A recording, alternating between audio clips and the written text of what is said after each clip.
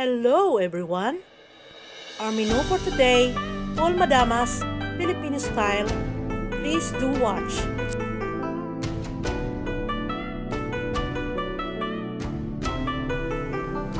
Hello, hello, hello sa lahat ng mga inday ko ngayong nanonood.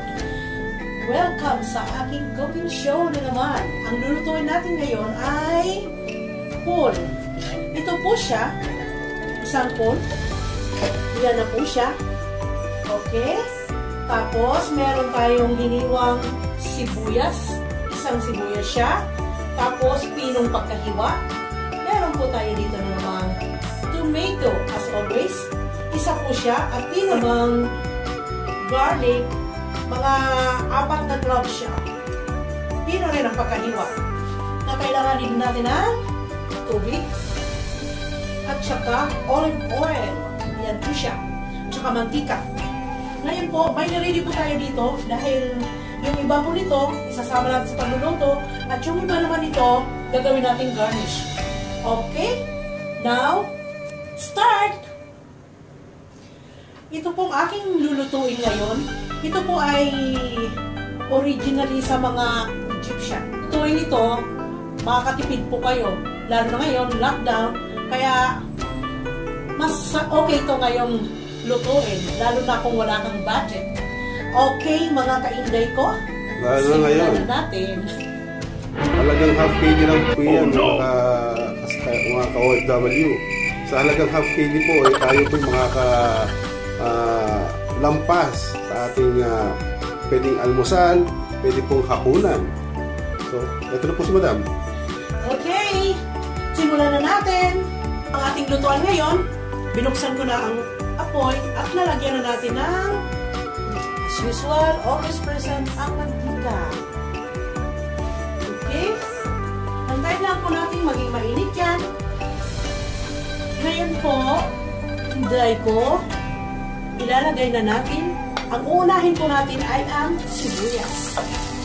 Mostly ang mga inuuna talaga ng mga nagluluto, ay yun pong ano, garlic. Pero ngayon po, unahin natin ang sibuyas para gusto po namin kasi maging pula siya.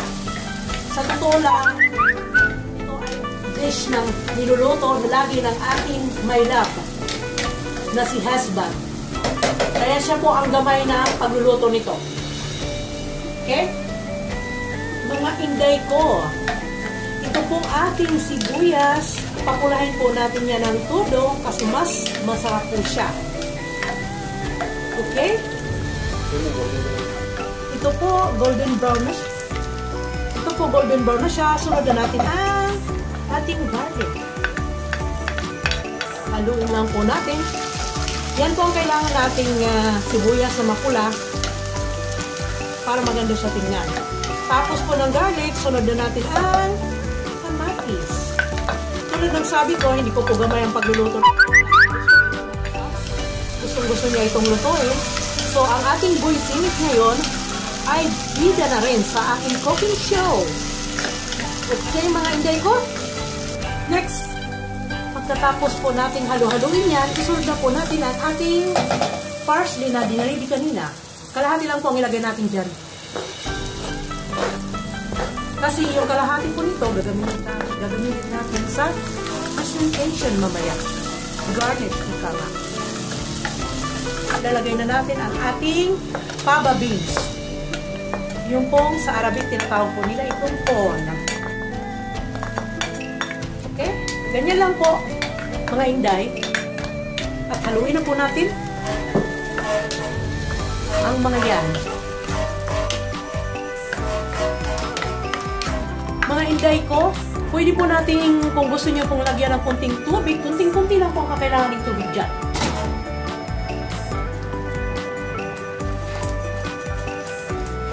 Tingnan po natin ngayon, check natin kung ang iyong fava beans ay tama na po ang lasa. Ito na mga inday, luto na po ang ating fava beans or ito po ang ating fava beans. nilalagyan na po ng aking sweetheart. Okay po. Yan po ang gamit ng olive oil. Ang finished product na ating niluto ngayon. As usual, ang aking husband ang nag-present ba niyan, kaya napakaganda po ng ating. Thank you for watching. Please subscribe my channel.